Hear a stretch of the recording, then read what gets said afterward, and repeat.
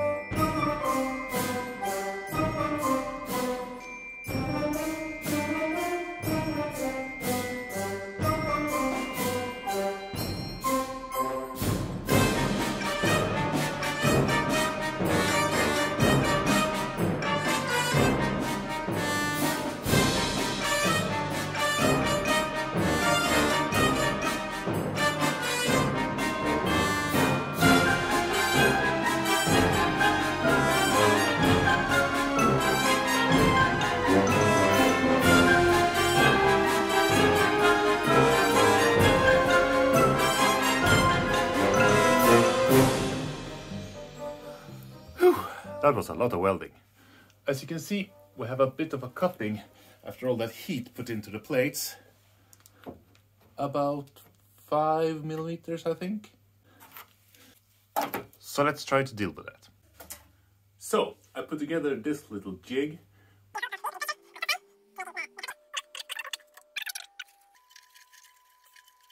The clamp doesn't really look happy about this. So maybe we need something stronger. I should probably remove this before we have an accident. Let's put on some safety goggles.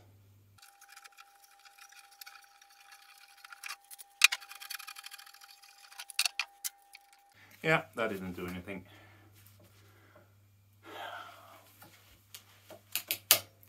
Ten mil steel plate is really strong. So I've had a think, and this is not a bug, it's a feature. Because this is bloody rock solid on these four corners. And considering that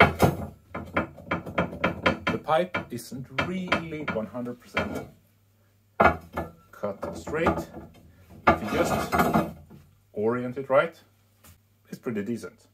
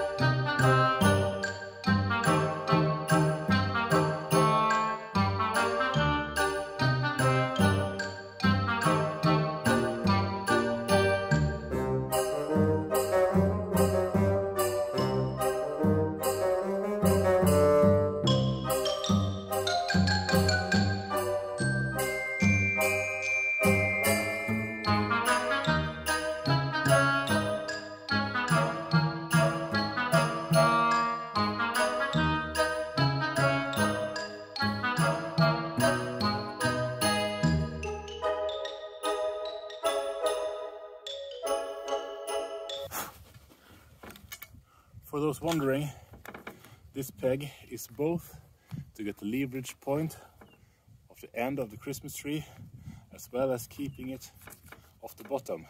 Because if the tree if the cut bottom of the tree was flat against this it would be really hard for it to suck up the water.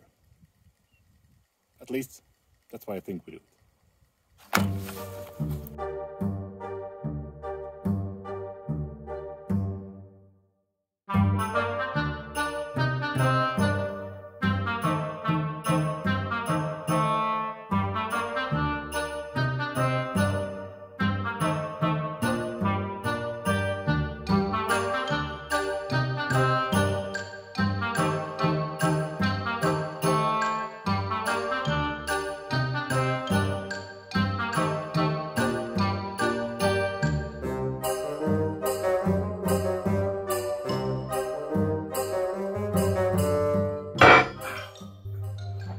And now it's time to see if it holds water. And as you can tell, I'm not that sure.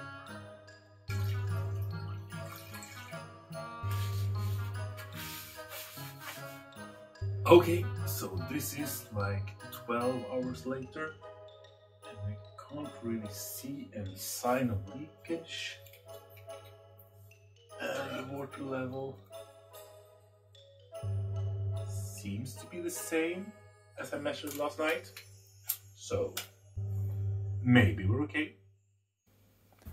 So the nut for this hole actually got slightly off center, so it's just that the thread rod can't reach it. So let's widen it with a Dremel.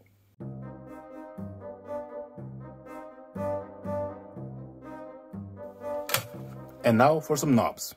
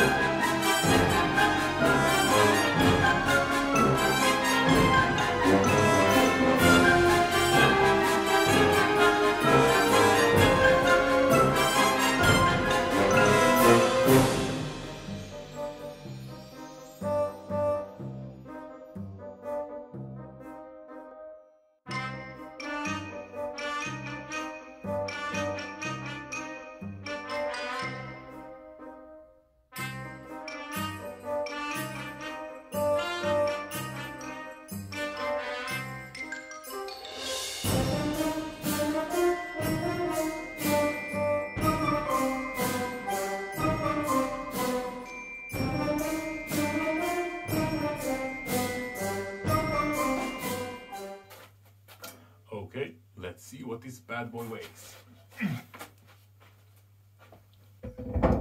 this is me au naturel. Let's say 82 kilo. And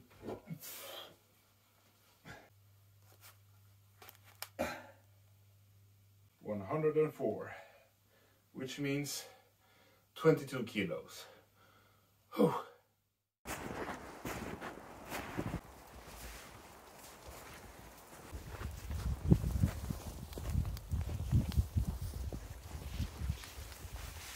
And if you like the video, you should definitely like and subscribe for coming to more videos. And let's- Timmer! Oh, yo, the tree just fall back.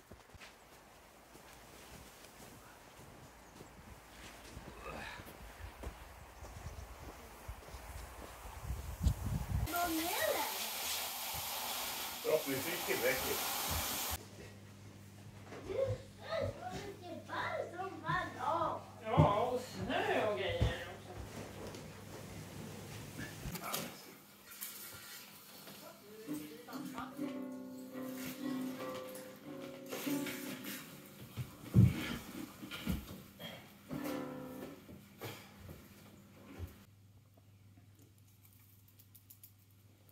Solid as a rock.